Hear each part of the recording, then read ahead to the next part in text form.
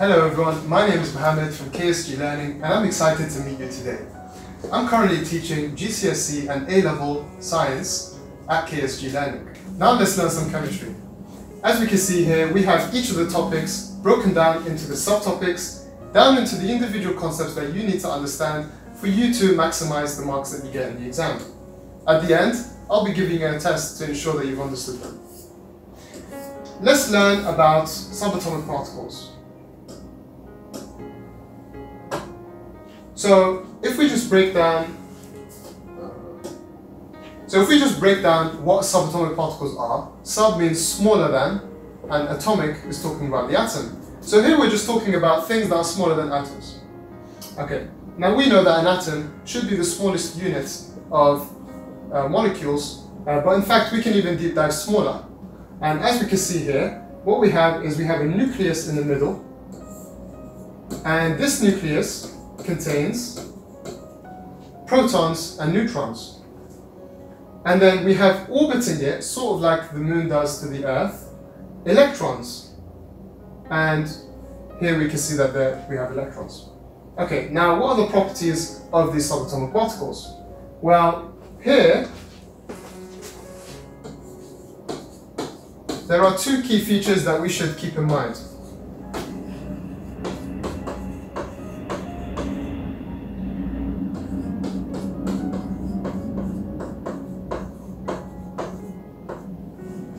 Firstly, we need to be discussing their size, or their mass rather.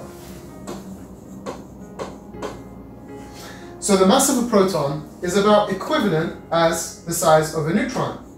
It's important to note that these aren't mass in grams or they don't really have units. We're just talking about their size relative to each other. Electrons are so small, we can get away with saying that they are size zero in the exam because they, their size is negligible. Now what about their charge? So protons are plus one. How can we tell this? Well, actually there's a pro in the word, so that tells you it's, it's plus one. Then we have neutrons, which are zero. Is there a way we can find that out? Well, here we have neutral, which sounds like we're talking about neutral, and therefore the charge is going to be zero. And as the only one left over, electrons are going to be minus one they're going to be negative. It's important that we have each of these um, causing the, the properties of the atom to change. So let's deep dive a bit further on how the atom works. So firstly, when we say an atom, by definition, it has to be uncharged. Okay? Now, if you remember, we said the proton is positive and an electron is negative, and a neutron has a charge of zero. Therefore, in order for atoms to be uncharged, they need to have as much positive as they have negative.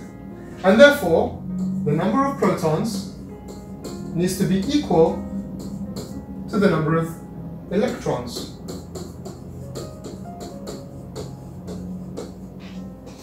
Since on the periodic table, we can see the number of protons below the atom, such as for example, if we have carbon, it's going to say 6 on the bottom, 12 on the top, where 6 represents the number of protons.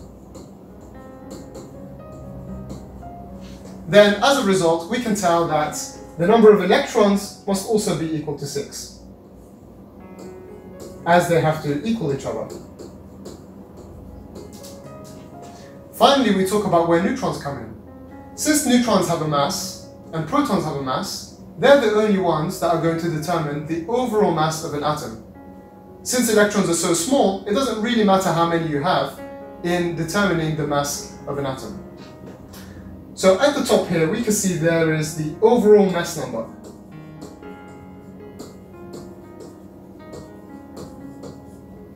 Since we already know that the mass of proton is 1 and there are 6 of them, that means that protons are contributing 6 in the overall mass of uh, the carbon.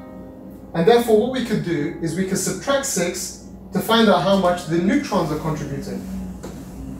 So we do 12 minus 6, which is going to be equal to 6.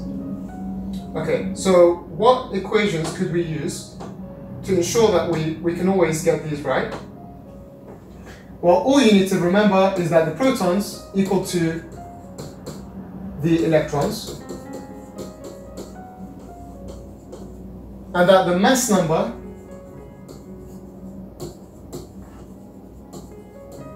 minus the proton number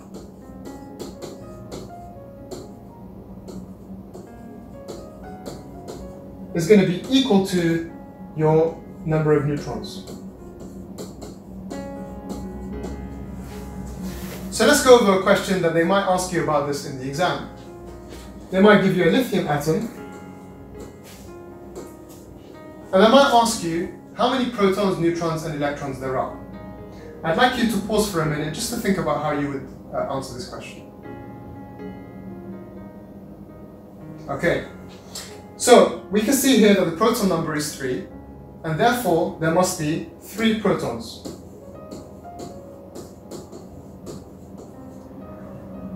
We can also see that because it's an atom, it must also be 3 electrons.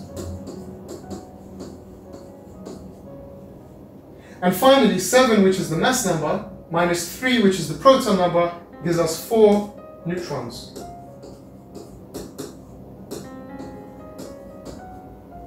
See, chemistry doesn't need to be complicated.